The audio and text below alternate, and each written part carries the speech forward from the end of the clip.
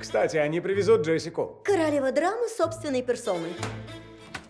Привет. Моя дорогая. О, Слышала про успех твоей книги. Я читала. Восторг. Мы продаем дом. что? Представь себе, у людей бывают финансовые трудности. О, Клафути. Боже мой. А ведь еще час назад мирно ужинали. Это все меняет. Повеситься в нашем саду, когда мы выставили дом на продажу. Кто вообще вешается в чужих садах? Хороша подруга. Не могла вздернуться в своем. У нее нет сада. С этим нужно что-то делать.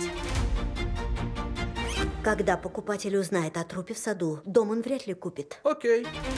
Но она повесилась здесь. А если нет, А Бет и Ричард? они идеальные друзья.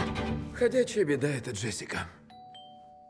Позвольте спросить, не могла бы она дать автограф, если не слишком занята? Мы вляпались в эту ситуацию из-за Джессики. Но мы-то ни при чем. Теперь при чем? Полицию вызывали? У нас полный порядок. Ты вечно мной манипулируешь. Я хотя бы не строю себя святошу. Безосновательно. Богатым оснований не требуется. Вы случайно там ничего не прячете? Это физически невозможно. Возможно. Утром эта новость взорвет интернет. Сумасшествие! Ты спятила. А если всех нас поймают? Лучше бы я ее не приводила. Как насчет десерта?